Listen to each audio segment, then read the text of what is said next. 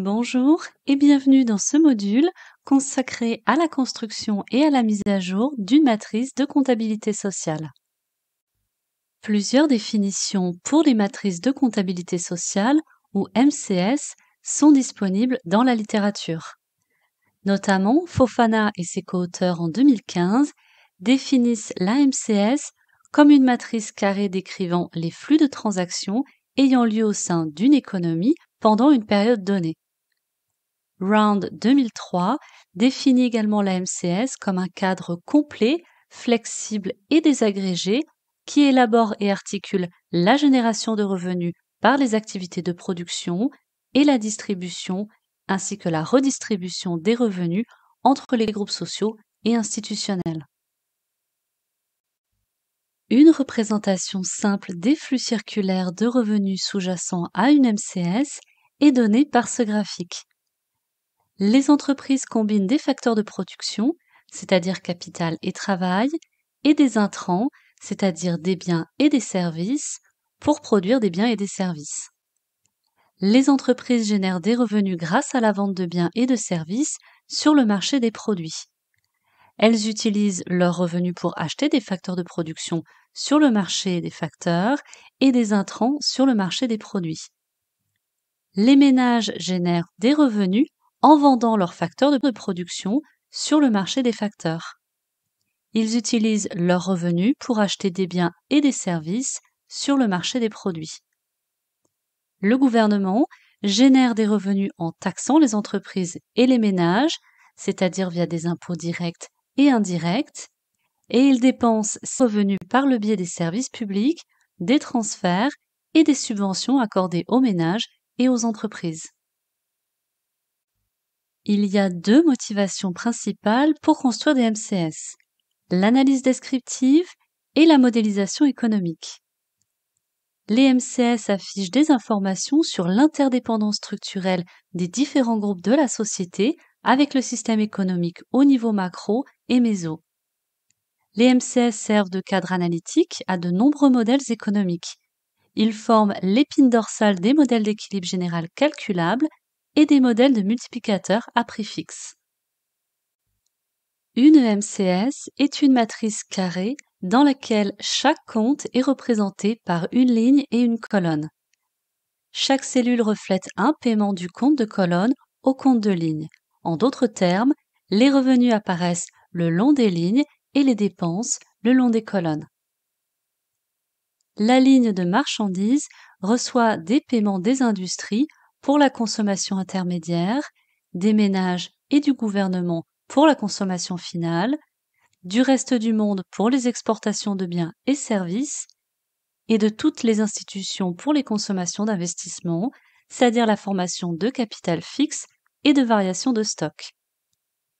Les colonnes des marchandises effectuent des paiements aux industries nationales pour la fourniture de biens et services, au reste du monde pour les importations de biens et services, et à divers comptes de taxes et de marges.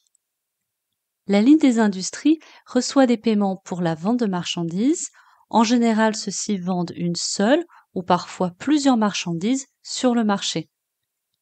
Les colonnes des industries effectuent des paiements aux marchandises pour les consommations intermédiaires, aux facteurs de production, c'est-à-dire la rémunération des employés, l'excédent d'exploitation et le revenu mix, ainsi qu'au gouvernement, aux institutions, sous forme d'impôts nets, de subventions. Les lignes des institutions reçoivent des revenus de facteurs, c'est-à-dire la rémunération des employés, l'excédent d'exploitation et le revenu mixte, et d'autres institutions en tant que revenus de transfert. Les colonnes des institutions effectuent des paiements aux marchandises pour la consommation finale et les exportations, et à d'autres institutions sous forme de paiement de transfert et aux comptes d'épargne. Enfin, les comptes d'épargne reçoivent des revenus des institutions et effectuent des versements sur les comptes d'investissement, c'est-à-dire la formation de capital fixe et de variation de stock. Les principaux éléments constitutifs d'une MCS sont les tableaux des ressources et des emplois, TRE, et les comptes économiques intégrés, TCEI. Les deux tableaux des comptes nationaux sont combinés pour construire l'AMCS macro. La construction d'une MCS utilise également des informations de comptes non nationaux, par exemple des données d'enquête, pour améliorer la représentation des groupes sociaux et institutionnels, conduisant à une MCS désagrégée.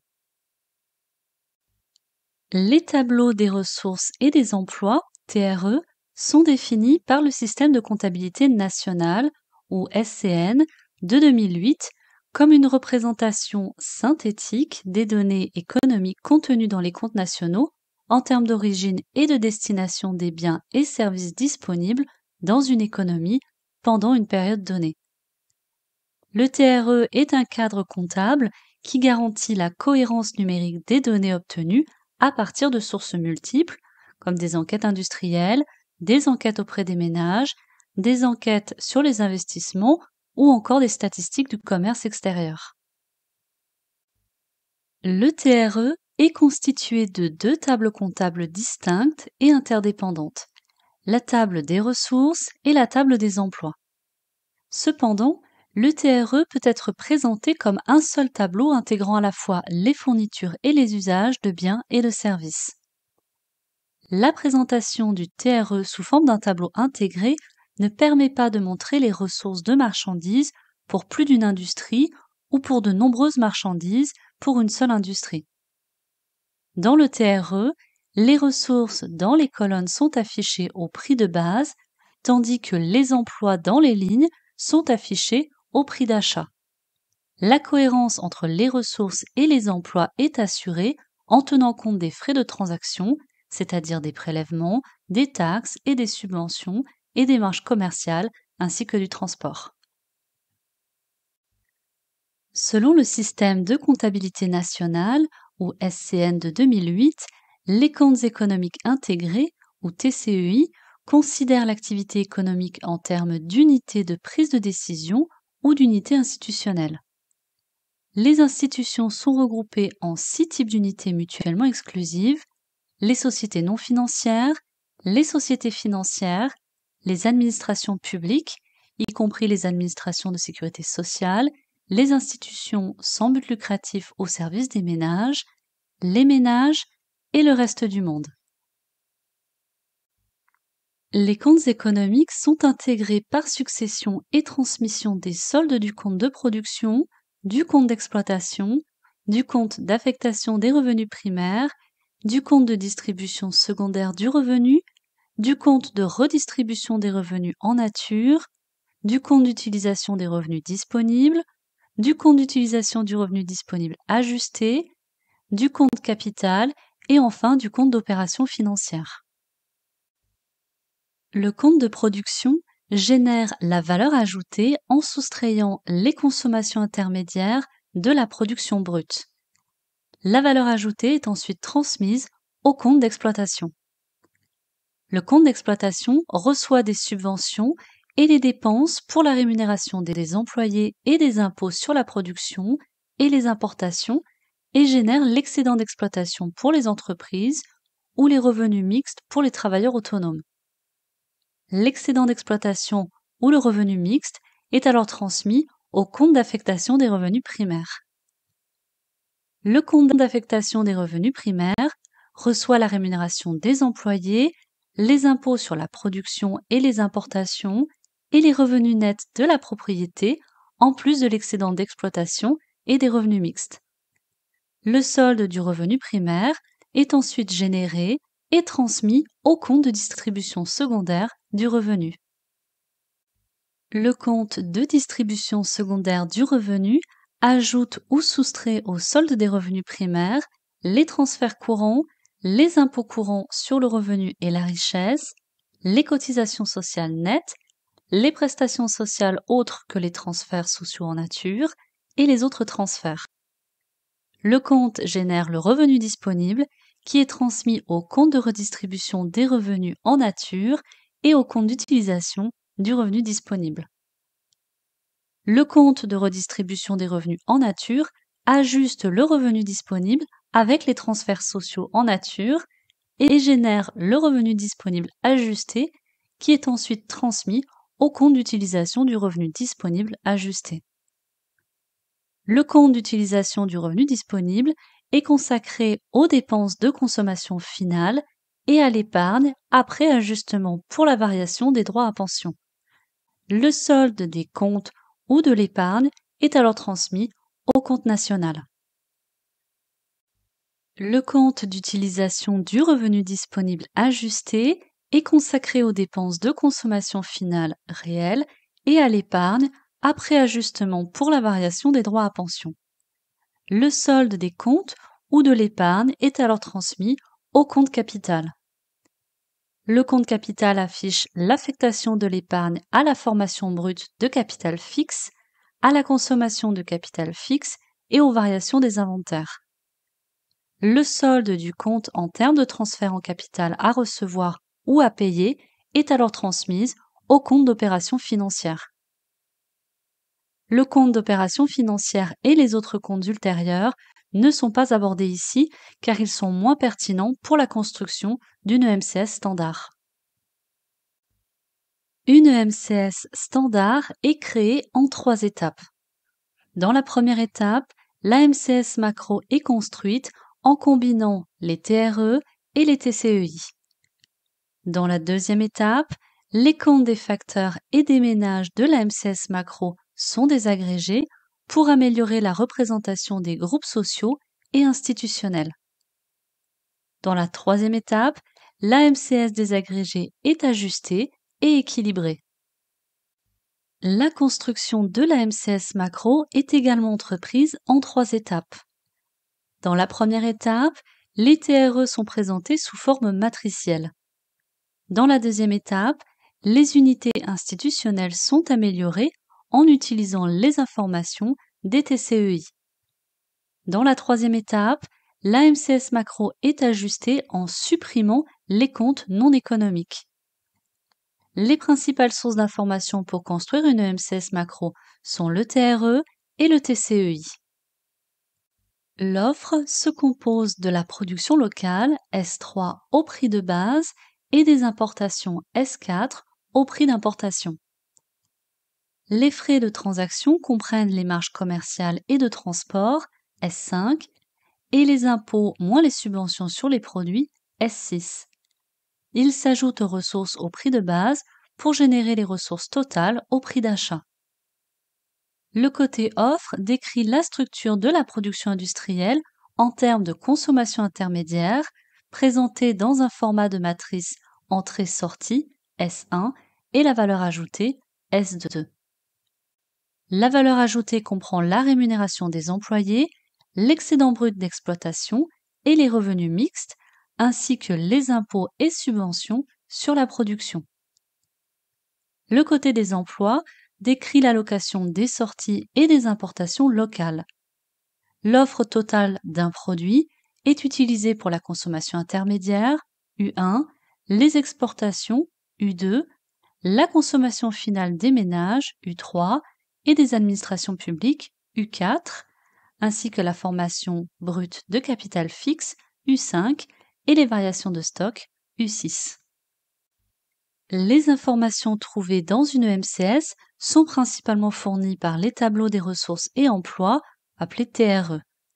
Le TRE fournit la production au prix de base des industries, S3, qui inclut la consommation intermédiaire de biens et services au prix d'achat, U1, les paiements aux facteurs, c'est-à-dire la rémunération des employés, l'excédent d'exploitation et les revenus mixtes, U2, ainsi que les impôts et subventions à la production, U3.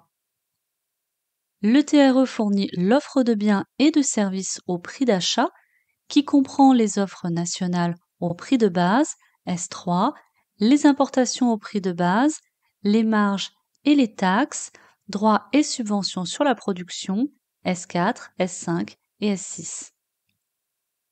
Le TRE fournit la consommation finale de biens et services des ménages et des administrations publiques, ainsi que les exportations, U2, U3 et U4, la formation de capital fixe et les variations de stock, U5, U6, le tout au prix d'achat.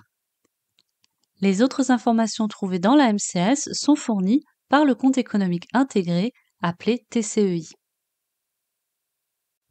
Les comptes des unités institutionnelles sont constitués essentiellement à l'aide de trois TCEI, le compte d'affectation des revenus primaires, le compte de distribution secondaire des revenus et le compte capital. Dans le compte d'affectation des revenus primaires, un intérêt particulier est accordé à l'affectation de l'excédent d'exploitation et des revenus mixtes, à la rémunération des employés et aux revenus nets sur l'immobilier les impôts et subventions sur la production et les importations sont exclusivement imputés à l'État. Dans le compte de distribution secondaire du revenu, les impôts courants sur le revenu, la richesse et les revenus et paiements de transfert sont calculés pour toutes les unités institutionnelles. Le compte capital fournit des informations sur la répartition de la formation brute de capital fixe, de la consommation de capital fixe et des variations de stock. Le TCEI est utilisé pour éclairer l'affectation du revenu des facteurs aux unités institutionnelles A1 A6.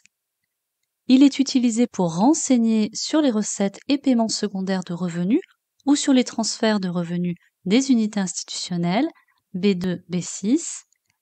Et enfin, il sert à renseigner les comptes d'épargne des unités institutionnelles C2, C6. L'AMCS Macro affiche plusieurs comptes d'industrie, dont un compte pour les services d'intermédiation financière indirectement mesurés, abrégé SIFIM. Les SIFIM sont des frais indirects pour les services d'intermédiation fournis par les sociétés financières pour acheminer les fonds entre les déposants et les emprunteurs. L'AMCS Macro affiche également plusieurs comptes de produits, dont un compte résiduel qui enregistre les écarts entre les ressources et les emplois. Le compte résiduel reflète principalement les achats directs des résidents à l'étranger, importation directe, et des non-résidents dans un pays donné, exportation directe. À cette étape de la construction de la MCS macro, les SIFIM et les comptes résiduels sont ajustés. Le compte SIFIM est ajusté en trois étapes. Premièrement, le montant des SIFIM est réaffecté aux industries en tant que dépenses intermédiaires. Le montant de SIFIM est imputé aux industries au prorata de leurs dépenses en services financiers. La consommation intermédiaire de services financiers des industries est augmentée du montant imputé des SIFIM. Deuxièmement, vous devez déduire le montant imputé des SIFIM de l'excédent d'exploitation et du revenu mixte des industries. Enfin, les comptes SIFIM sont supprimés de la MCS macro. Le compte résiduel est également ajusté en trois étapes. Premièrement, la valeur nette directe des importations est calculée en soustrayant la valeur directe des exportations de la valeur directe des importations. Deuxièmement, la valeur nette des importations est allouée au prix de consommation finale privé en ne considérant que les dépenses sur les produits importés. La part des dépenses de consommation finale privée sont calculées pour les produits importés. La valeur nette des importations est répartie entre ces produits en utilisant les parts calculées. La consommation finale privée est augmentée des importations nettes imputées côté emploi, et les importations sont augmentées du montant ajusté des consommations finales privées du côté des ressources. Troisièmement, le compte résiduel est supprimé de la MCS macro. La MCS macro résultante est composée de plusieurs comptes pour les industries et les marchandises qui suivent la classification TRE. Les comptes des facteurs affichent un compte pour la rémunération des employés et un compte pour l'excédent d'exploitation et les revenus mixtes. Les comptes institutionnels, eux, comprennent un compte pour les sociétés non financières, pour les sociétés financières, pour les administrations publiques, pour les ménages et les institutions sans but lucratif au service des ménages, et un compte pour le reste du monde. Pour rappel, la construction d'une MCS s'effectue en trois grandes étapes. La première étape est la construction d'une MCS macro utilisant les TRE et les TCEI. La deuxième étape est la désagrégation des comptes des facteurs et des ménages de la MCS macro. Et la troisième étape est l'ajustement et l'équilibrage de la MCS désagrégée.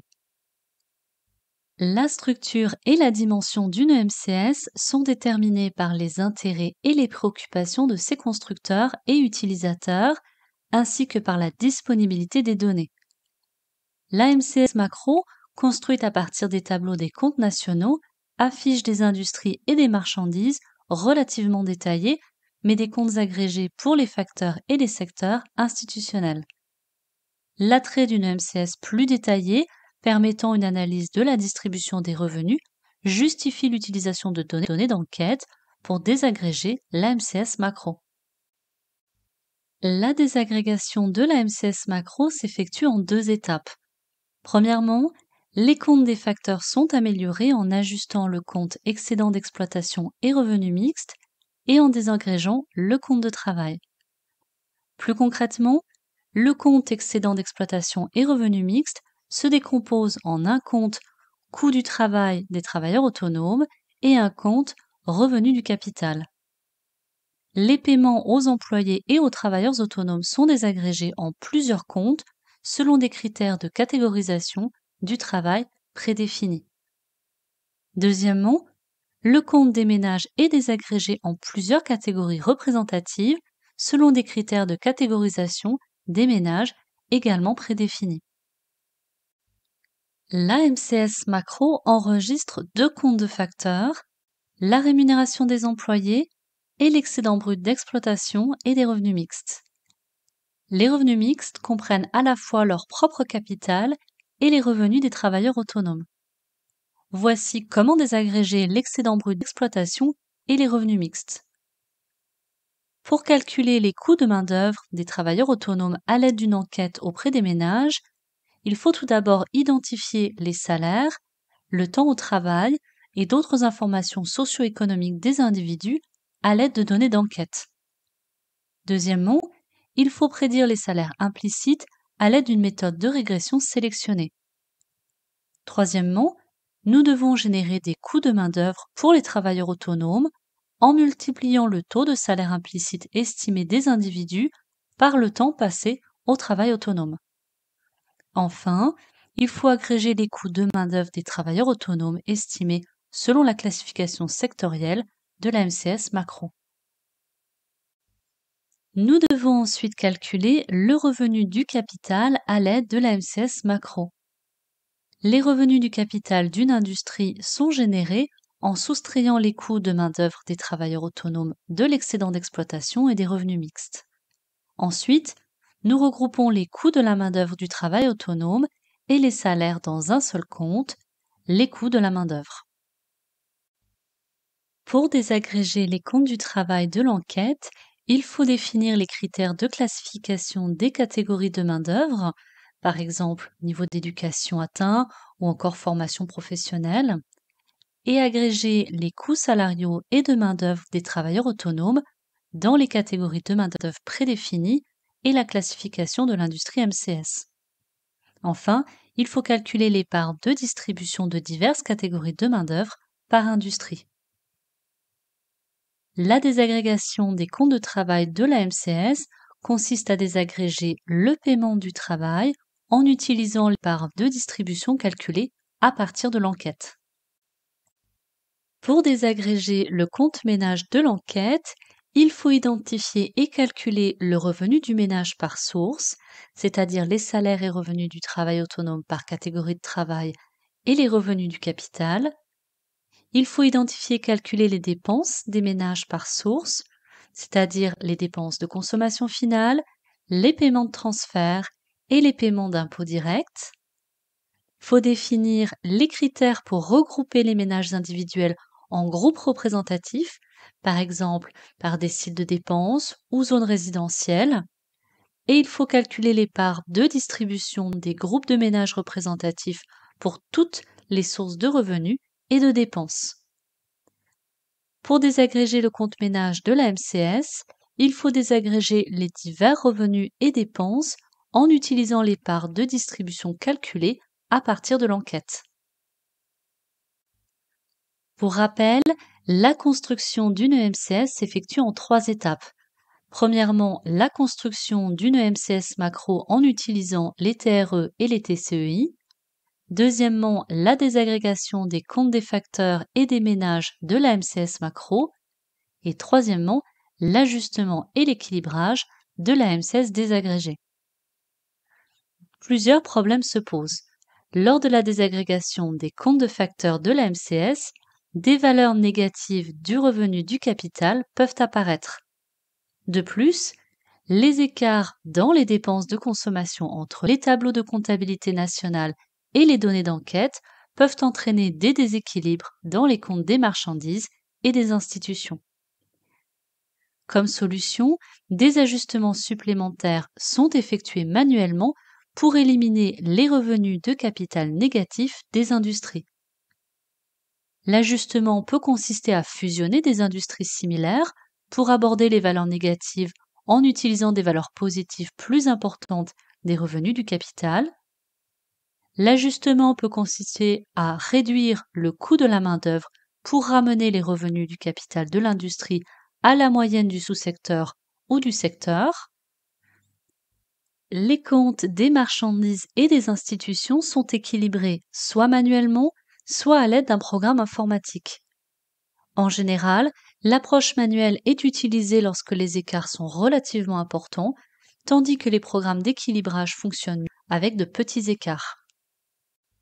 Les modèles d'équilibre général calculables nécessitent l'utilisation d'une matrice de comptabilité sociale la plus récente. Les données utilisées pour construire une EMCS proviennent de différentes sources telles que les comptes nationaux, les enquêtes, les comptes financiers publics ou encore les données de commerce international. La principale source d'information d'une EMCS, c'est-à-dire les tableaux de comptabilité nationale, est généralement préparée tous les 5 ans ou plus. Par conséquent, il est possible de mettre à jour une EMCS existante en utilisant les données macro et méso les plus récentes disponibles lorsqu'une nouvelle MCS ne peut pas être construite. Plusieurs fonctions d'optimisation sont utilisées pour mettre à jour une EMCS. Les plus couramment utilisées sont l'entropie croisée, la méthode RAS, les moindres carrés ordinaires, la minimisation de la fonction du coût de Huber, la minimisation de la distance Ellinger et enfin la programmation linéaire. Robinson et ses co-auteurs en 2001 ainsi que Ahmed et Prekel en 2007 montrent la supériorité de la méthode d'entropie croisée EC sur la méthode RAS en utilisant la matrice de coefficients ou de ratios. Un autre auteur, Lee en 2015, montre que la méthode EC est plus précise que les méthodes RAS, MCO ou la programmation linéaire. D'autres auteurs ont constaté que les méthodes de minimisation de la fonction de distance, c'est-à-dire la méthode d'entropie croisée, sont plus adéquates au niveau des agrégés, mais pas parfaitement satisfaisantes au niveau agrégé. En mettant à jour une EMCS, Traoré, Camara et Fonton en 2020 ont constaté que les méthodes EC et de Hellinger sont relativement supérieures à la méthode MCO et à la méthode de Huber. L'entropie croisée, abrégée EC, est une méthode utilisée pour résoudre des problèmes mal posés, selon Robinson et ses co-auteurs en 2001. L'équilibrage ou la mise à jour d'une MCS fait partie de ces problèmes, c'est-à-dire un problème sous-identifié. Mettre à jour une MCS consiste à trouver une nouvelle MCS proche d'une MCS existante en minimisant la distance d'entropie croisée entre elles et en respectant toutes les contraintes, y compris les nouvelles informations et les nouvelles données sur l'économie. La procédure EC est mise en œuvre en trois étapes. À l'étape 1, nous utilisons un outil de mise à jour de la MCS et nous commençons par exécuter une MCS cohérente et équilibrée.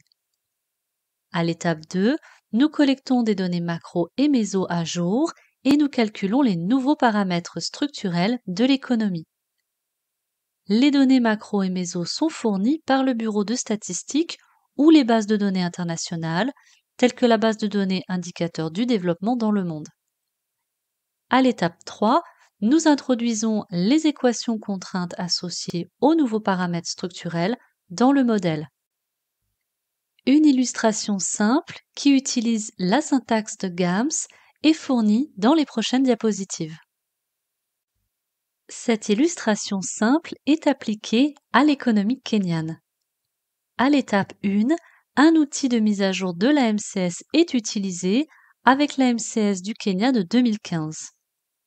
Premièrement, nous devons saisir le libellé des comptes matriciels, industrie de J1 à J42, marchandises de C1 à C42, marge de M1 et M2, facteur de F1 à F9, institution de U1 à U23, impôt et transfert de TR1 à TR3 et enfin accumulation Q1 et Q2. Deuxièmement, l'AMCS initiale, c'est-à-dire Kenya SAM, est importée à l'aide de la fonction GAMS Data Exchange. Troisièmement, la matrice des valeurs négatives est définie et les valeurs négatives sont exposées. Quatrièmement, les valeurs initiales de la MCS sont transformées en proportion, c'est-à-dire entre 0 et 1, en divisant chaque valeur par le total de la matrice. Le total de la matrice est calculé en premier. Cinquièmement, les variables, c'est-à-dire la MCS finale et le critère d'optimisation, sont définis et initialisés ici. Sixièmement, les équations sont également définies et initialisées. Celles-ci comprennent l'équation d'optimisation d'entropie croisée et deux équations de contrainte, c'est-à-dire les équations d'égalité et d'unité. La contrainte d'égalité indique que la somme des valeurs d'une ligne particulière doit être égale à la somme des valeurs de la colonne correspondante. La contrainte d'unité indique que toutes les valeurs de la MCS doivent totaliser à 1. Enfin, septièmement, le modèle est résolu. À l'étape 2, l'AMCS du Kenya de 2015 est mise à jour pour l'année 2019 à l'aide des données macro qui peuvent être accédées via la base de données indicateur du développement dans le monde de la Banque mondiale. La structure du PIB calculée par la méthode des dépenses en 2019 est fournie dans ce tableau. L'étape 3 commence par l'introduction de nouvelles équations de contraintes liées à la structure de l'économie 2019. Ces équations sont définies et attribuées. Ces équations sont liées au ratio de la consommation finale privée au PIB, contrainte 1, de la consommation finale publique au PIB, contrainte 2, de la formation de capital fixe au PIB, contrainte 3, des exportations au PIB, contrainte 4, et enfin des importations au PIB, contrainte 5. À noter qu'aucune contrainte n'a été imposée sur le ratio des variations de stock au PIB. Un nouveau paramètre, GDP, apparaît dans les nouvelles équations de contrainte. De nouveaux ensembles apparaissent également dans les nouvelles équations de contrainte. Le nouveau paramètre GDP ainsi que les nouveaux ensembles inclus dans les équations de contrainte sont définis et affectés. Nous sommes à la fin de ce cours sur la construction et la mise à jour d'une matrice de comptabilité sociale. Tout au long du cours, vous avez été initié à la notion de MCS selon sa structure standard. Les principaux éléments constitutifs d'une MCS c'est-à-dire le tableau des ressources et des emplois et les comptes économiques intégrés, ont été définis et présentés. Nous avons également présenté les étapes pour construire une MCS standard.